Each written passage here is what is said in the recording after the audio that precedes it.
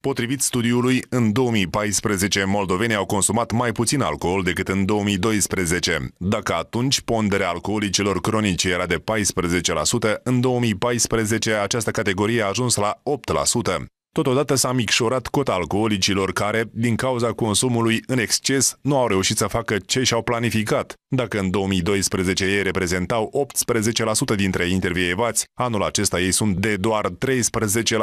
O scădere accentuată de la 19 la 13% se observă și în cazul persoanelor care, în decursul ultimului an, nu au simțit necesitatea să consume alcool dimineața pentru a-și reveni după obeție și cota persoanelor care, din cauza consumului de alcool, nu au fost capabile să-și amintească ce s-a întâmplat noaptea precedentă, a scăzut cu 4%, iar numărul persoanelor accidentate în urma consumului de alcool s-a micșorat cu 8%. Studiul a fost realizat pe un eșantion de 1500 de persoane.